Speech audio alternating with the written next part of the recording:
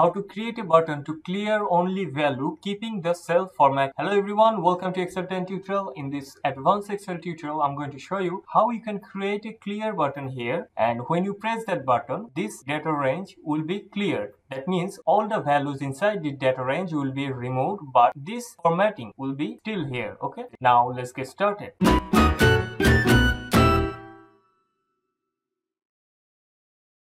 I'm going to use a VBA code to solve this. Click on the developer tab, click on Visual Basic, click insert and click Module. Now write the code. I have already written the code and you can see here range B9 to F20. This is the data range here B9 to F20. You can see F20. I want to remove values from this data range but I want to keep the cell formatting. Okay. Now every time I create an invoice here, let's say this is my invoice item number and let's say this is the example quantity unit price discount. Let's leave it empty. Let's copy it again. Let's say I have created an invoice and I want want to remove all this and create a new invoice. So I want to delete this one by one or selecting every time. But to save time, I want to create a button and when I press it, all this data range will be removed and the cell formatting should be still here okay so our code is ready and now i'm going to create a button here okay let's create it from click insert and click shape now design your button here let's say this is the clear button and I'm going to write it name. Let's format it. So this is the clear button I want here. Okay. Now if I press here, this data range should be clear. Now our button is ready. You can also create different types of buttons that will run VBA code. I have showed them. Please check the video link here. And now here our button is ready. So right click here and select assign macro and you can see here clear value only. Select this and click OK. Click anywhere inside your worksheet. This will remove the editing mode. Now our button is ready our code is ready and if I press here clear you can see all of them has been removed. But